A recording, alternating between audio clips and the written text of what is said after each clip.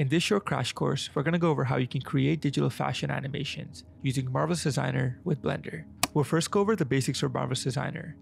Then we'll create our own outfit, simulate it with an animation, set up a simple scene in Blender, and then finally render it. So let's start off by opening up Marvelous Designer. Now, there's definitely a lot going on here, but you'll soon realize how intuitive and straightforward a lot of the features actually are.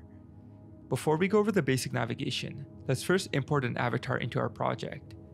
Now by default, Marvelous Designer comes with avatars we can use. If you navigate to the avatars folder here, you can choose between male, female, or stylized avatars. And then you can simply double click on whatever avatar you want to import it. For me, I'll be using an avatar model I downloaded from Daz. If you wish to follow along using the same model as me, you can download my digital fashion starter kit. This comes with all the project files, plus more than 30 starting templates I've designed that you can use in any of your projects. But feel free to use any avatar that you want. To import our avatar, we can go to File, go to the Import option, and then select FBX. And then we can select our base model. Now we will get this pop-up, and here you just want to make sure that you have the same setting selected as me. The default scale should be in centimeters, but if it's not, then make sure you change it. And then we can click OK to import our model. Now we have our character into our scene, and the first thing I actually want to do here is just change the texture surface to monochrome, just so it's a little less distracting. Now to navigate around in a 3D window, we can use the scroll wheel on our mouse to zoom in and out. We can hold the middle mouse button to pan around, and then we can use the right click on the mouse to orbit. Now in the 2D pattern window, we can once again hold the middle mouse button to pan, and then use the scroll wheel to zoom in and out. The 2D pattern render is used to create and lay out all of our garments. So to start off, let's create a simple top for our character. We can do so by selecting the polygon tool here. And then we can start plotting points to create a basic shape for our top. Now, if our top is symmetrical, we only need to create one half of the shape. And you'll see why we do that in a second here. And once we connect all the points, you'll notice the garment pop up in our 3D window. Now to create the other half, we first need to select the transform pattern tool. Now if we right click, we can clone the pattern by selecting the symmetric pattern with sewing option.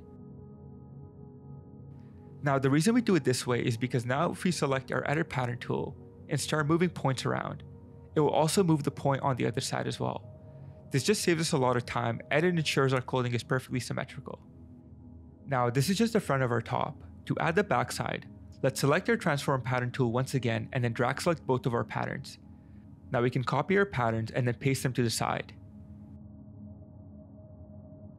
Now in our 3D window, let's move the backside of our top to the backside of our character.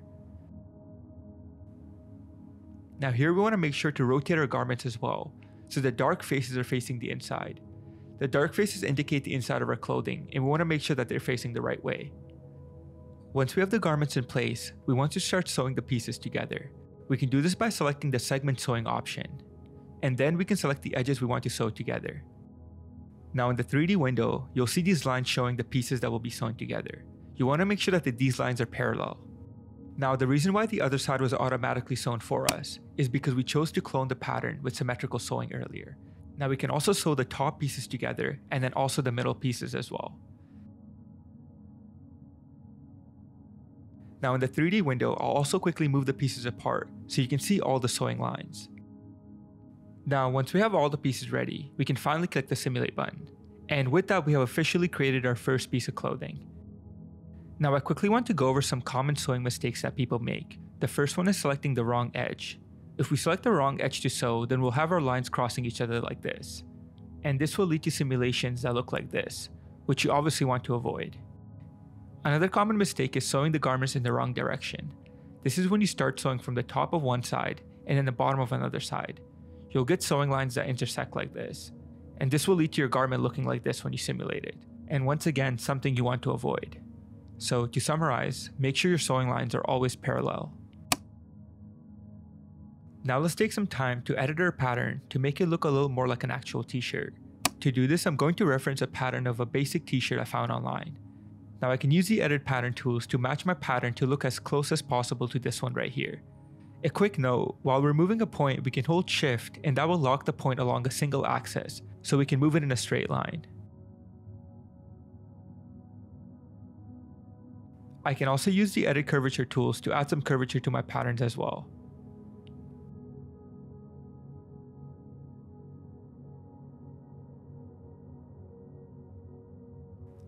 Now we also have these seams along the middle of our shirt which we want to get rid of. So to do that, let's select our edit pattern tool and then select the edges we want to merge. Now we can right click and select the merge option. And we can do the same for the back as well. Now our shirt also needs sleeves, so let's add those next. This time let's use the rectangle tool to create a new pattern. And we can then move this piece in our 3D window so it's right above our arm. Now I want to determine the middle point of my sleeve, since I need to sew one half to the front of the shirt and then one half to the back. To do this I can use the add point tool. Now if I hover around the middle, it should lock into the center here. Now to sew my sleeve, this time I'll be using the free sewing option. It works pretty much the same as a segment sewing, except you choose the length you want to sew. And since I'm sewing half the sleeve to the front and then half of the sleeve to the back, this option works a lot better. Once again, we always want to double check our sewing lines to make sure we haven't sewn anything incorrectly. Now if we simulate, our sleeve should fall nicely on our arms just like this. Lastly, we want to sew the two edges of our sleeve to each other, and then simulate once again. Let's now clone the sleeve for the other side as well, and if we choose the symmetric pattern with sewing option, it will automatically do all the sewing for us. Now our sleeves look a little off, and that's because the sleeve shape typically looks like this, and not what we have right now. So let's edit our pattern to try to match it as close as possible to the sleeve in the reference. So let's start with dragging the middle point out. And then we can use the smooth point tool to create the curve at the top. Now we can continue to make changes to our pattern until it looks close to the sleeve that we want.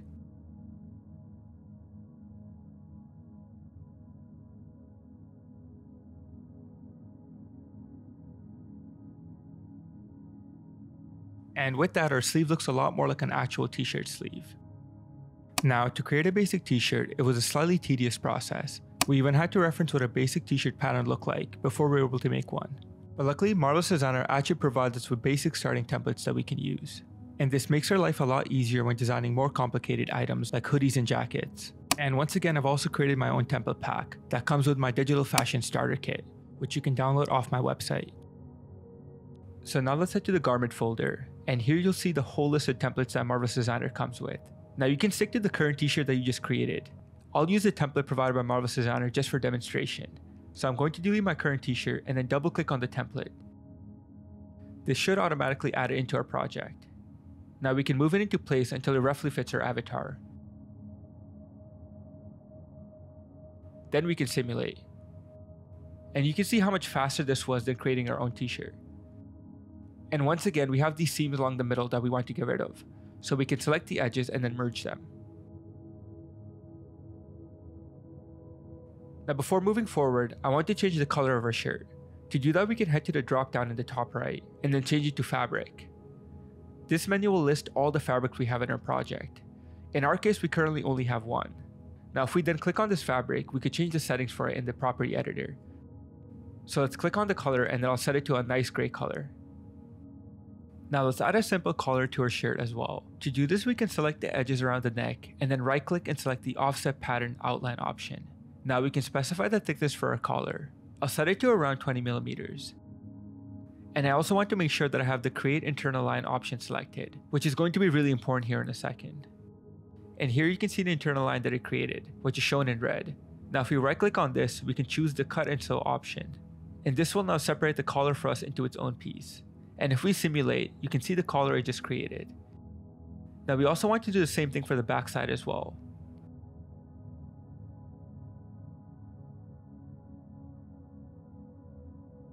And finally we can stitch the two edges together.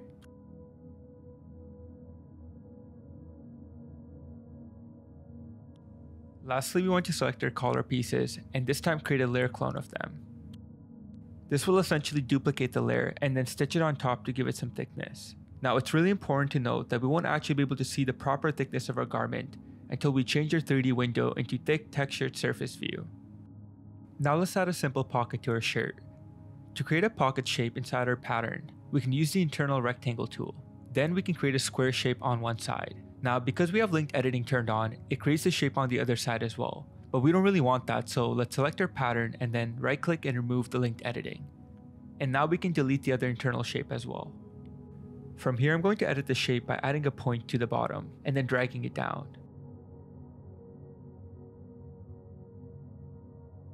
And once I'm happy with my pocket shape, I can right click on it and then clone it as a pattern. You can see the pocket shape it created here in the 3D window. Now we just need to sew the sides and the bottom of this pocket onto the internal line. And for that we can use segment sewing or free sewing, it really doesn't matter. And once we simulate, it should attach our pocket onto our t-shirt. A quick note, if you see this red line on your garment, it just means that your 3D window is set to show your internal lines. You can toggle this on and off in the options here at the top. For me, I find it a little distracting, so sometimes I'll just turn it off. Let's now create some pants for our avatar. I'm going to go for a pair of cargo pants like the ones in the reference images here. This time I'll add in the pants template for Marvelous Designer, and we'll get this pop-up. Here we want to make sure we select the add option. And once again, we'll need to fit the pants to our avatar. And when we're ready, we can simulate. Now, to make it easier to work on my pants, I want to quickly hide my shirt. To do that, I can select all the t-shirt patterns and then right click and select the hide 3D pattern option. Now next let's give our pants a different color. And while I'm in the fabrics menu, I can also rename these fabrics by double clicking on them. Now with my pants fabric selected, I can go into the property editor and then set the color to a nice olive green color. Next let's add a simple waistband for our pants. To do that, we can select the top edges, and once again, I can use the offset pattern outline tool for that. I'll leave the distance as 20 millimeters, and then make sure I have the internal line option selected as well. Then I can select the internal line and then use the cut and sew option to separate the waistband. Now next with our edit pattern tool selected, we can start to edit the pattern to get it to look as close to the reference images as possible.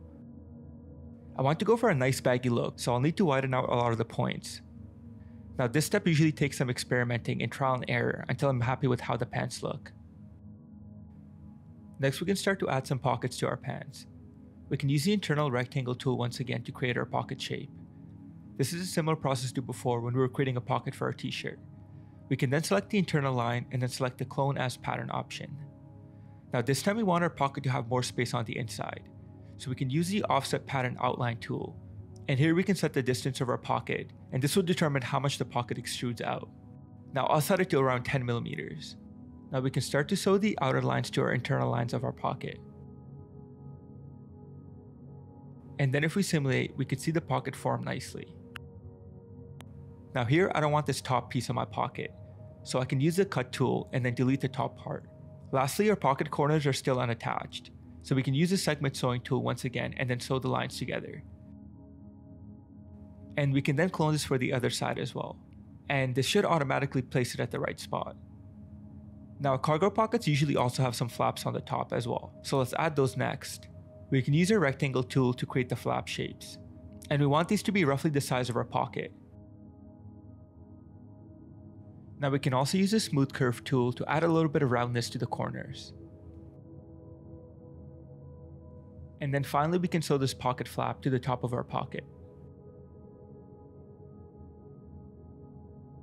And once again, we can clone this for the other side as well.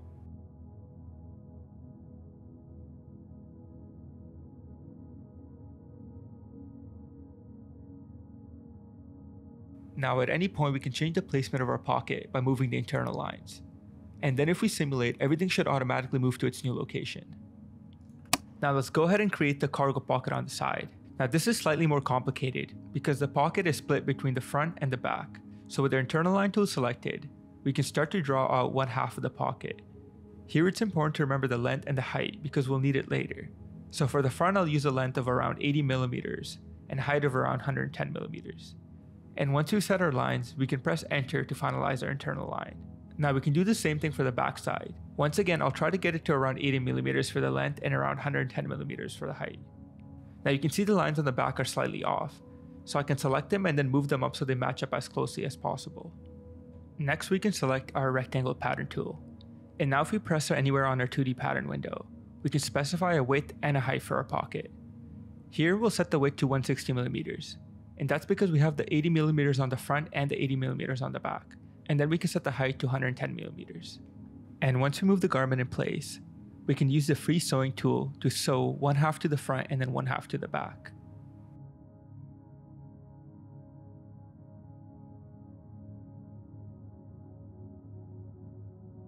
And from here, we can copy this pattern over and then use the offset pattern outline tool once again to start creating our pocket shape.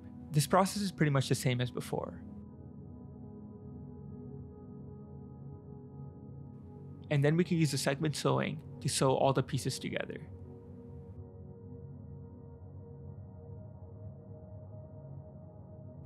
Now here, I also want to separate the inner pocket shape from the edges by using the cut and sew option.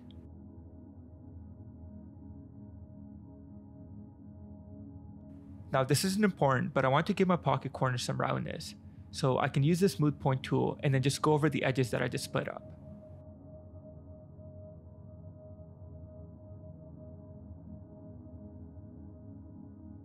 For this pocket, I want to add a zipper on the side as well. And we can do this by first using the internal rectangle tool to create a thin rectangle shape. Then we can convert this into a hole.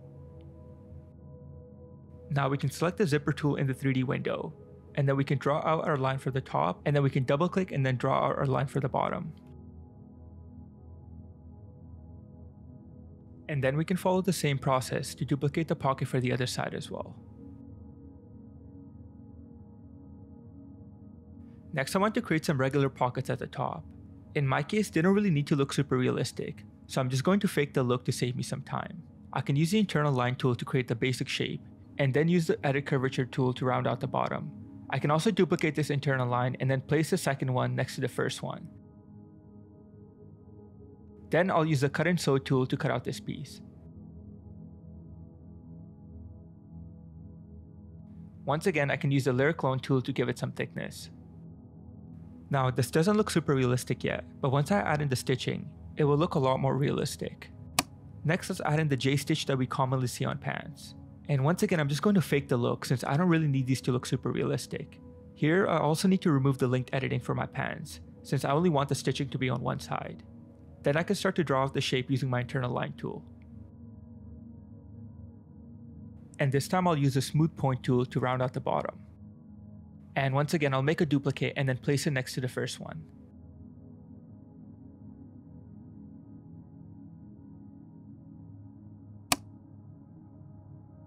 Now let's go over how we can add some stitching to our pants.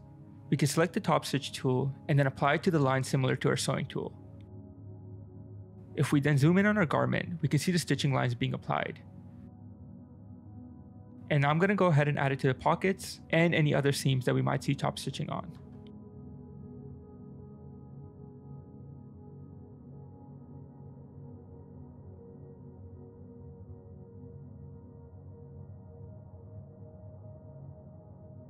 Now for the cargo pocket flap, I added an internal rectangle inside and then added top stitching to that as well.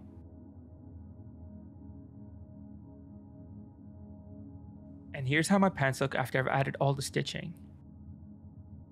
Now we can also change the way that our top stitching looks. If we go to the top stitch dropdown, we can see the default top stitch that we just applied. Now if we click on this, we can see all the properties that we can change in the property editor. This includes the length, the spacing, the color, and much more. We can also change the complete style of our top stitch by going into the materials folder, then the hardware and trims folder, and finally selecting the top stitch folder. Inside we can see a list of all the different types of top stitching that we can apply. We can then drag one of these into our top stitch list. Now to apply this to our garment, we'll need to select the edit top stitch tool. Then we can select either a specific top stitch line or all the patterns we apply the top stitching to. Then in the property editor, we can change the style from default to our new top stitch that we just added. Then after a second or so, you can see the new top stitch applied to your garment. Now in my case, I'll actually be sticking to the default top stitch, so I'm going to undo what I just did, but I want to show you how you could change it if needed. Now we can also change the way our zipper looks as well. If we click on our zipper, we can see all the different properties we can change here in the property editor. If we click on the puller, we'll get a different set of properties here, and here I'll change the styling of my puller and my slider. And once again, if we head into our materials folder and then into the zipper folder, we can see the full list of different styling options we get for our zippers. Next, let's add some buttons to our pants. To do this, let's click on the button dropdown in the 3D window, and then let's first select the buttonhole option. Now let's add a buttonhole to our waistband, and if we zoom in on our garment, we can see the buttonhole added. Now let's head back to our button dropdown, and this time let's select the button option. We can then add a button on top of our buttonhole and this should look something like this. To change the styling of our bun, we can head to the bun drop down and then select the default bun. Now in the property editor, we can change the shape, the width, the thickness, the color, and many more properties. Now in my case, I'm going to change the shape to a different one. Lastly, I also want to add some buns to my cargo pockets as well. And for these, I'm going to first add a new bun to my list. Then I'll give it a new name. And then in the property editor, I'll change the shape of the bun to something more suitable for the pocket. And then I can add in these buns in the 2D pattern window. Now the buns are a little too big, so I'll head to the property editor once again, and this time I'll change the width to around 18 millimeters. And with that, I'm pretty happy with how my pants turned out. Now, of course, we can add a lot more details, but for the sake of keeping this video as short as possible, we're gonna move on to the next part. Now let's go over how we can add different fabrics to our garments. So first, let's unhide our t-shirt. And then let's open up the fabrics tab. Now to add new fabrics, we can go into the fabrics folder, and this is located inside the materials folder as well. Here we have the list of all the different fabrics we can choose from. And when you hover over a specific fabric, it also gives you more information about that fabric as well. For my shirt, I'm going to go with a basic cotton material. And when I find one that I like, I can just drag it on top of my current shirt fabric. This will replace our old shirt fabric with our new one. And if we look at our shirt more closely, we can see all the fine details in the fabric as well. And this looks a lot more realistic than before. Now we can select our t-shirt fabric and then change the color back to a gray that we had before. Now if we go into the physical properties dropdown, we can see a list of sliders that determine how our fabric stretches and folds when simulating. Now by default, each fabric will have a different set of values for these. For example, leather feels and behaves much differently than cotton. So these values will probably differ quite a lot. And I would recommend you leave them as they are, unless there's a specific look that you're going for. Now another value we can change here is the thickness of our fabric. By default this type of con is around half a millimeter, and we can change this value if needed. Just remember that you need to be in thick textured surface view to see how it actually looks. Let's now add a new fabric for our pants as well. And once again, I'll change the color back to our olive green that we had set before. Now, say if we want to change the fabric of a specific piece of our garment, rather than the whole thing. For that, we could simply drag the new fabric onto that piece. And this will make sure that the fabric gets applied only to that specific piece.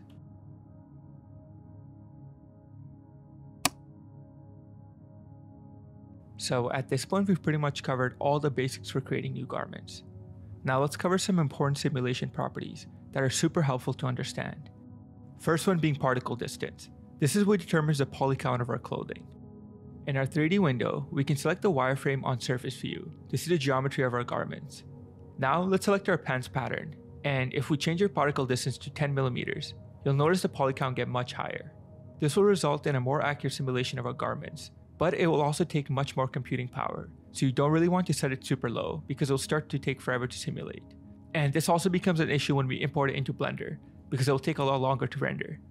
I will personally set mine to around 10 to 15 millimeters when I'm ready to export, but while I'm working on it in Marvelous Designer, I'll usually leave it at the default at 20 millimeters. Two other handy settings to change are the shrinkage weft and the shrinkage warp properties. Now I'll demonstrate what these do. Say we want to make these specific parts that I've selected looser. Then we can set our shrinkage weft value to anything above 100%, say 110% or even 120%, and this will loosen our garment for us. Now if we want to tighten those parts, in that case we can set the value to less than 100%, say about 90%. Shrinkage warp is pretty much the exact same thing, except now in the vertical direction, so this will make our pants longer or shorter. And this is a great non-destructive way to edit the fit of our pants, without changing or messing up our actual patterns. For me, I'll make the fit of these pants slightly looser by setting the shrinkage weft value to 110%. Now, we already discussed how we can add thickness to our fabric, but we can also add thickness to the patterns by changing the thickness rendering value. This is super helpful when you want to increase thickness to a specific part rather than the whole garment. Now lastly, I want to add a puffer jacket to this outfit as well. Luckily, Marvelous Designer has a template that we can use. Once I add the jacket into my project, I can fit it to my avatar and then simulate.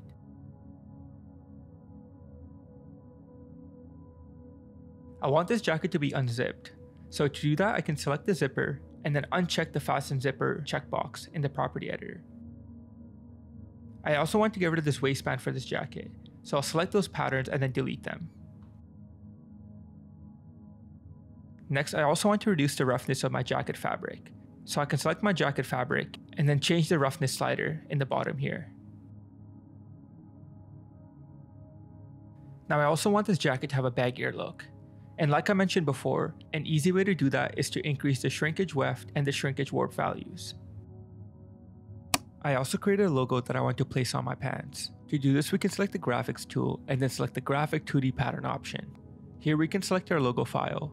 Now I can click on the pattern that I want to apply this graphic to. And with the logo added, we're finally done designing our outfit. Now we're going to go over how we can simulate our outfit with an animation and then render it out in Blender. But first an important thing to fix is our UVs. So let's open up the UV editor, and I'm also going to drag it out here so we get a better look.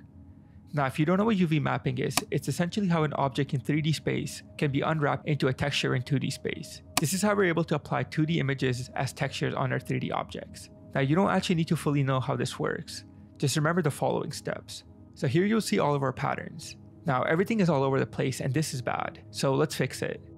The goal here is to get everything neatly organized in a 1 by 1 square, and make sure that there's no overlapping pieces. So first we can right click and choose the reset UV to 2D arrangement option. And this will get rid of most of the overlapping. Now next we can right click once again and this time select the fit all UV to 0 to 1. This will place it in a 1 by 1 box like this. Here it's good practice to try to increase the size of our patterns as much as possible. This will result in higher resolution textures for our garments. And lastly, like I mentioned before, we want to make sure that there are no overlapping layers. So let's move everything that's on top of each other into its own spot.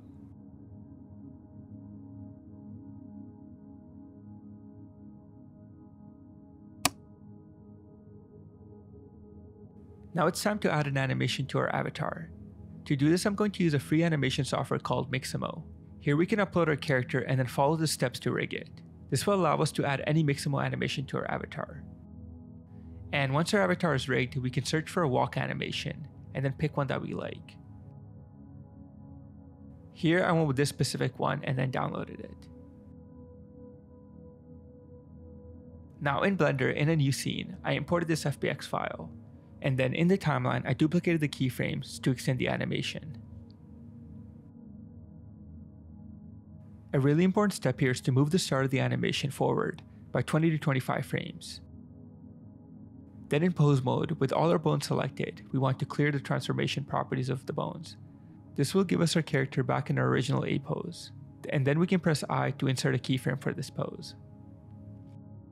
And this is super handy because now our animation smoothly transitions from our A pose to our walk animation. Next I want to go over how to add shoes to our avatar. You can find a ton of shoe models online. Some will be paid and some will be free. And once we find a model that we like, we can import them into our Blender scene. From here, we just want to try to fit the shoe as best as we can to our avatar. And when we're ready, we can select both of our shoes and then select our armature and press Ctrl P. This will open up the parent menu. And here we want to select the automatic weights option. Now if we press play, our shoes should move with our avatar. Sometimes you might get this issue when you try to bind your shoes to your avatar, and that just means that there's an issue with your geometry. I've gone over this in one of my previous videos, so check that out if needed. Now lastly, there might be areas around my shoe where my avatar's feet stick out. To fix that, we can go into sculpt mode and just smooth out those areas by holding shift with our brush.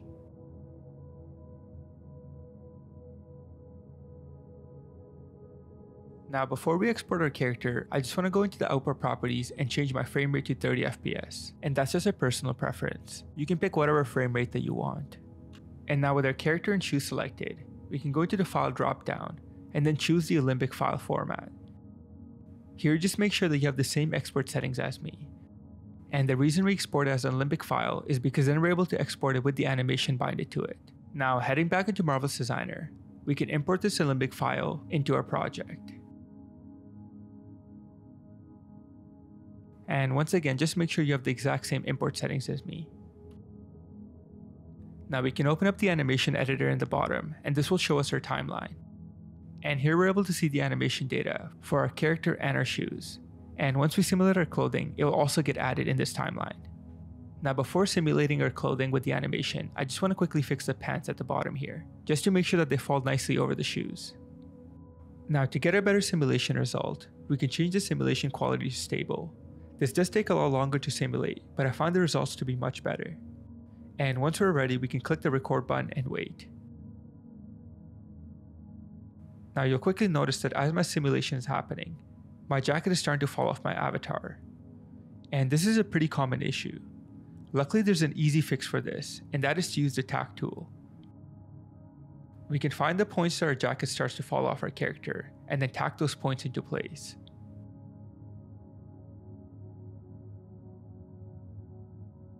And when we're ready, we can record the simulation once again. And this may take some time depending on how fast your computer is. I'm going to speed up the footage here just so you don't have to wait it out with me. And once our clothing simulation is baked in, we can quickly play it back just to make sure that everything looks fine. And lastly before exporting, I quickly want to go into the top stitch settings and then change the type to texture rather than OBJ. Now this significantly reduces the poly count because the stitching is no longer a 3D geometry, but instead is just a texture baked into the clothing. And when we're ready, we can export our outfit as an Alembic file. Now for the export settings, make sure you have the thick option selected, and set your texture map size to 4K for better results. The export process can take some time as well, and when it's done we should have our Alembic file and a list of our texture maps. Now let's head back into Blender, and we can now import our Alembic file into our scene.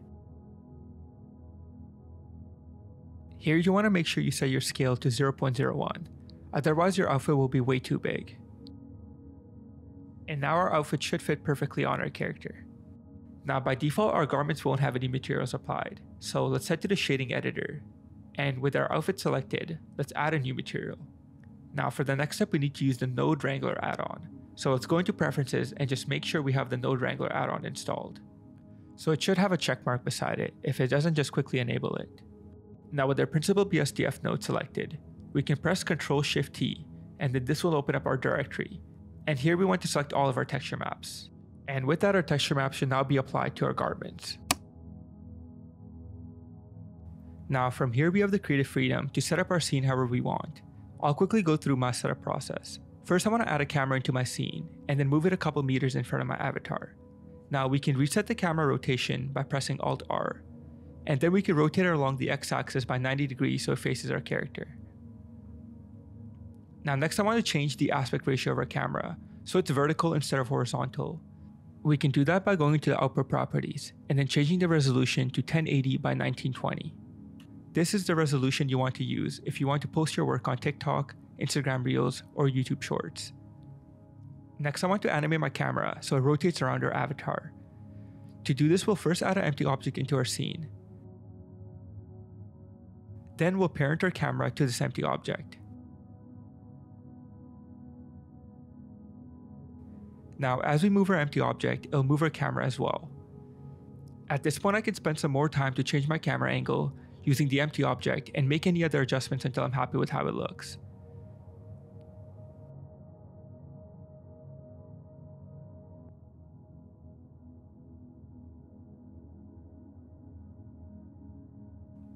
And once I'm happy with the starting position, I can add a keyframe for it on the 20th frame, which is technically our starting frame. Then we can go to the last frame. And here I want to change the rotation in the z-axis by subtracting 360 degrees from it. Then we can add a keyframe for that as well. This will give us one full clockwise rotation around our avatar. Lastly, I want to change the animation interpolation to linear. We can right click on our timeline, then go into interpolation and select linear. Now our camera will rotate around our character at a constant speed. Now you would have noticed that our character stays in the same spot even though he's walking. So let's quickly change that. We can add another empty object into our scene, and this time I'll use the cube and then fit it around our character.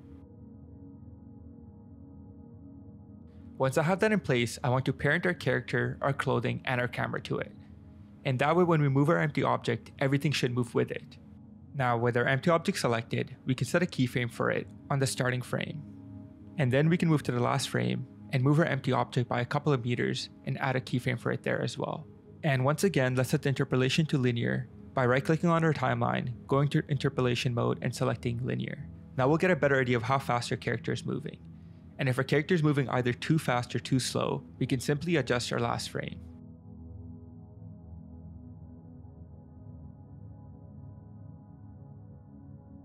Now I'm going to add a cylinder into the scene to use as the ground. I'll delete all the other faces until I have the top face left. Now I can move it down to the ground and then scale it so it feels like an endless plane. Now next I want to add some lights for a character. For this I'm going to use a modified 3-point lighting setup.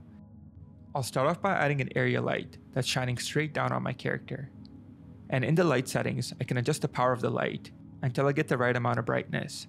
Now a quick note, I'm going to be rendering this using the Cycles render engine, so just make sure you have it set to that as well. And then from here I'm going to duplicate this top light and then move it at an angle from the front. And I duplicated the light one more time and then added one to the back as well. And finally I parented these lights to our empty object as well, so when our character moves, the lights follow.